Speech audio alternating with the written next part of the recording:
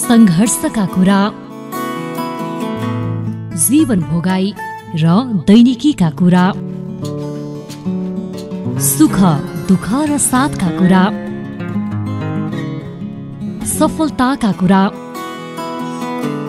नारी शक्तिलाई हौसला प्रदान गर्ने हाम्रो सकारात्मक पहल।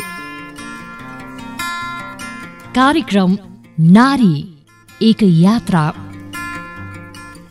शीघ्र प्रसारण हुँदैछ। मात्र कालिका एचडीमा